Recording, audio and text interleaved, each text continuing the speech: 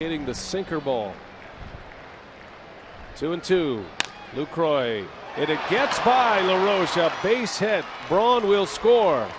As Jonathan Lucroy sneaks it by the Nationals first baseman.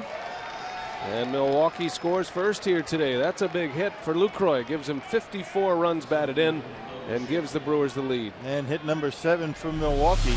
Only one of them extra base hits. That was that lost fly ball in center field for Ryan Braun. And this gives you an example or shows you why Lucroy is so good in these situations with men in scoring position. He goes to right field very well, doesn't try and pull it, gets on